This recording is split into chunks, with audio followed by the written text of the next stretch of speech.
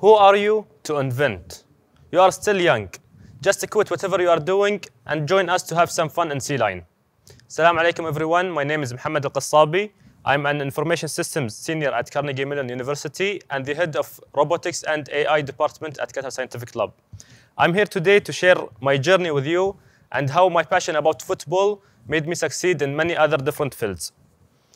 Uh, since childhood, my favorite hobby has been football, just like everyone else, and I wanted to join a football club so badly, but my parents wanted me to focus more on my academics, since it's more important than football, and that's what I did. I used to play football every weekend with my cousins in my grandfather's house, until that day came that changed my life, I think forever. Uh, it was my turning point. The day was the 2nd of December in 2010 when Qatar, was, uh, when Qatar won uh, the right to host the 2022 World Cup. At that time, I felt that my country is hosting the, the biggest football event or the sport event in the world, and it's happening for the first time in the MENA region.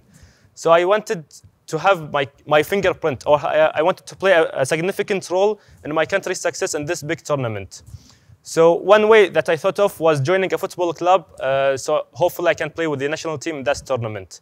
So I went to my parents again and told them that now is the time to join a football club. They told me it's okay if you get high grades in your school. And that's what I did. But they said there is only one condition, which is I have to balance between my academics and my trainings and matches with the uh, football club. And I agreed on that. I always cheered up for Al Sadd club, which my father hated. so uh, I wanted to join Al Sadd club, but my father told me it's either Al Ahli or Al Arabi club. I'm not sure why, whether it's because he hated Al Sadd, but he said that uh, it's because Al Ahli and Al Arabi are closer to my home than Al Sadd, so I can have more time to study at home before joining the trainings. So I said, okay, it's better than nothing, and I joined Al Arabi club. And in my second season, I was able to impress the coaches and, was, uh, and I was given the uh, captain sign. And some older players were feeling like kind of jealous because I'm still a new. They are older than me, and, I, and yet I got the sign uh, of the captain. And I used to play, they all used to play one match per week, but I used to play two matches per week, one with my team, and the other uh, match was with the elder team. The elder coach used to call me in many different matches uh, because of my performance. And in 2016, I was uh, called to play with the first team. The first team coach called me to play a football match with their team, and I was kind of scared because I was only 16 years old, playing against players like they are their age is between 22 and 35. So it was kind of scary, but I was able to get a good impression uh, during the match, and I played the whole 90 minutes, which was kind of impressive to play the 90, mi the 90 minutes in this age with the uh, first team.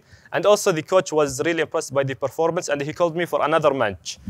So I think I had a very good career, especially that I played most of my matches with the elder teams.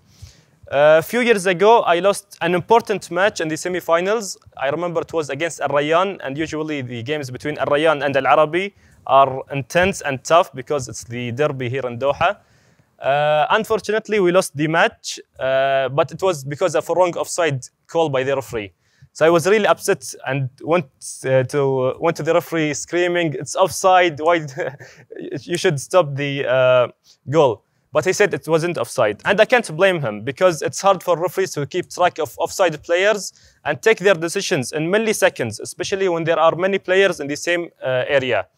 Uh, in 2002 World Cup alone uh, in Brazil, there were more than 35% of wrong offside calls made by the referees, which uh, proves how hard for, it is for them to keep track of the offside players and take their decisions in milliseconds. So I thought since modern technologies is solving uh, most of our daily lives problems, why don't we use the uh, technologies to solve these problems and solve the offside problem?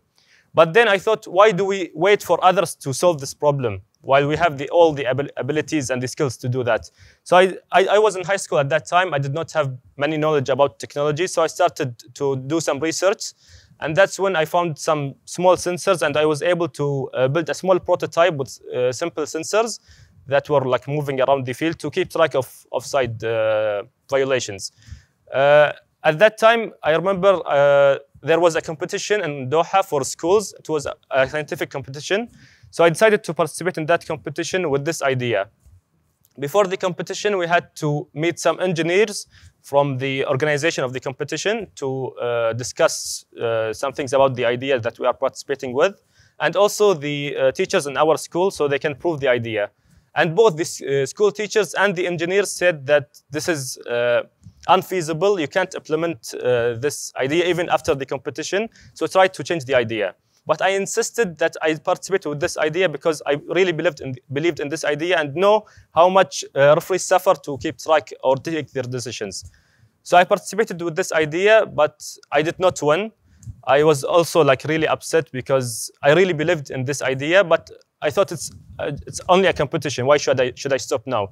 So a few months later, I participated in a scientific competition for the Gulf countries. It was happening here in Doha. I was the youngest participant, and what I liked the most is that most of the participants liked my idea because they were football fans as well. So they know uh, how much uh, football uh, uh fans suffer from these kind of things. But I also did not win anything in this competition. I was also upset, but what made me continue was uh, how uh, how the other competitors liked my idea, especially that they are familiar with these kind of things. So I decided, and uh, when I was 18 years old, I decided to apply for Stars of Science show, which is for uh, Arabic inventors. And I went all the way to Lebanon to pitch my idea in front of the jury members. And when I did so, uh, the jury, one of the jury members said that I don't see this as an uh, invention, and I can't see you as an inventor uh, with this project. So he rejected me. At that time, I felt that there is something wrong. Like I was rejected and I lost many things in few uh, in a short time uh, short time period. So I was really upset, and for some few minutes I thought that okay, it's time to stop and think of anything else. Also, some of my referees told me, uh, some of my friends told me that why are you doing all of this? You are still young. You can't change the world or change the football rules. Just come join us and we'll go. So we'll go ha have some fun in Sea Line. But before leaving uh, uh, Lebanon, before coming back to Doha, I had a plan. I thought that the jury member that told me that who, who rejected me was wrong, and I wanted to prove that he was wrong.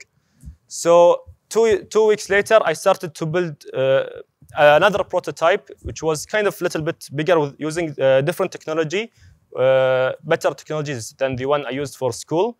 And uh, I was chosen or nominated by the Qatar Scientific Lab and the Ministry of Sports and Culture at that time to participate with the Qatari delegate in the uh, International Invention Fair in the Middle East, which uh, happened in Kuwait in 2019.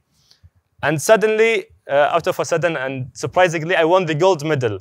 No one expected that, including me. And I was really happy that, okay, now I, I think I can see this as the beginning of the journey. I won something uh, finally, and now I can begin the journey with this prototype and build it to another level.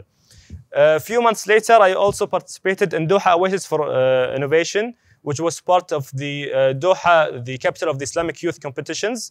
And I also won the gold medal.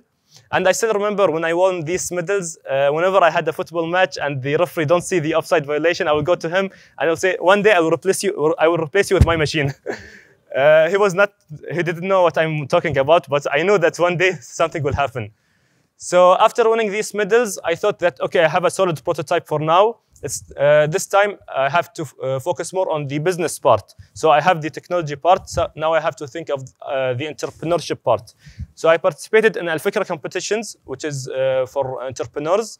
And uh, I, there were different phases, and I was able to reach the final uh, stage where they chose only three in each category. And uh, when we pitched our ideas, I noticed that I was the only competitor that had no team. They all had like team set up and ready, and they were all like old enough to compete, and I was the youngest. But after we all pitched and before the uh, winners were announced, some of the competitors uh, came to me and said, congratulations, we think you won, and we wish you all the best in your future career. And that's what happened. I won the first place in Al Fikra competition, the startup category. Uh, I was really proud that I was able to go to, throughout all of this journey, especially being the youngest in most of these competitions. So a few months, few months back, uh, I thought of uh, participating in Stars of Science again uh, in season 13. I was a little bit nervous because I remembered what happened uh, two years back and how I was rejected and the way I was rejected. Uh, but I said I was advised by Abdulrahman Khamis, who is Stars of Science alumni, to apply, and especially that I have university also in the same time.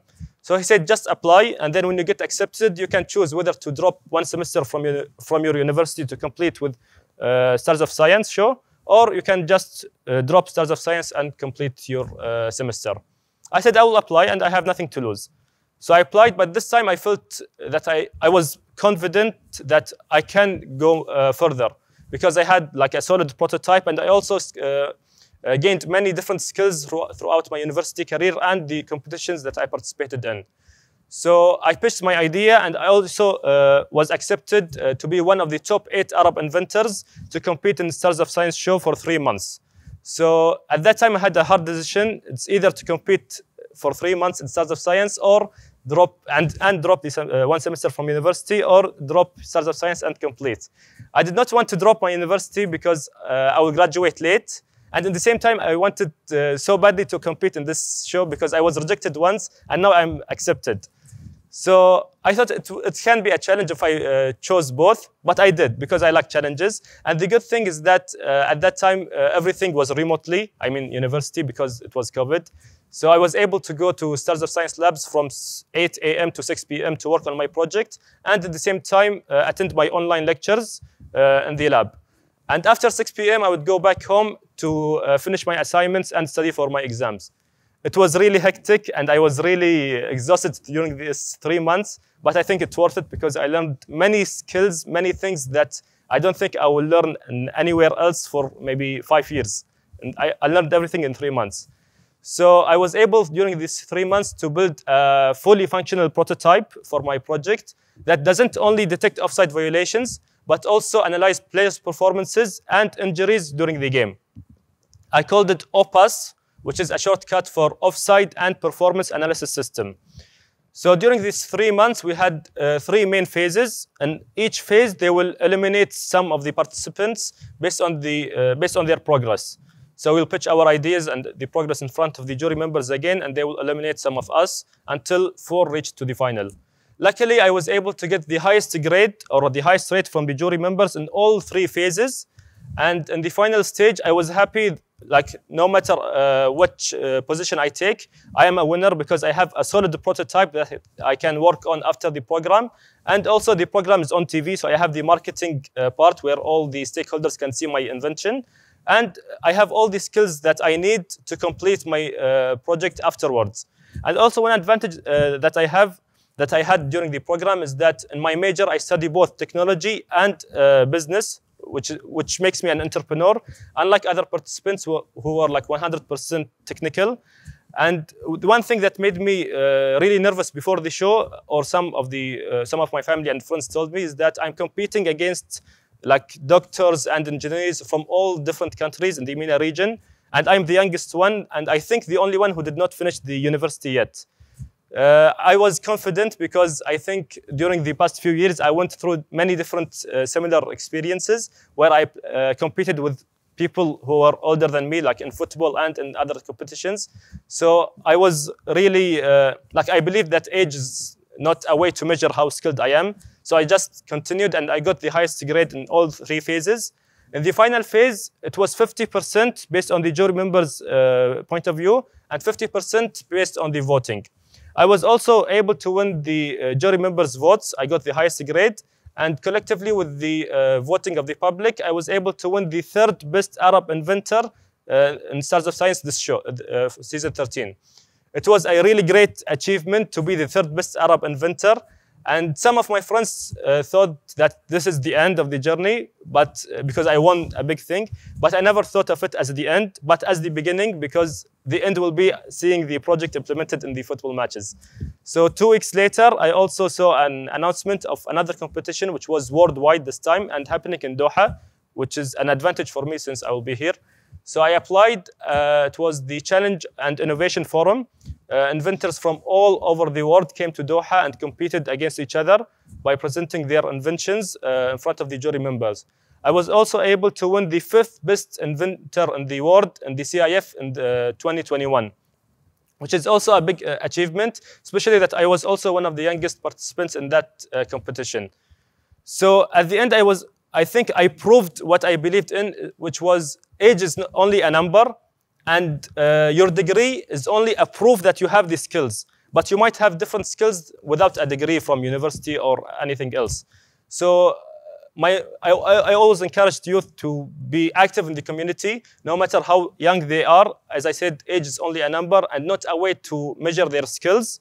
As long as they uh, have the uh, passion about what they are doing and work hard, they can achieve anything and nothing can stop them because uh, you can still do whatever you want.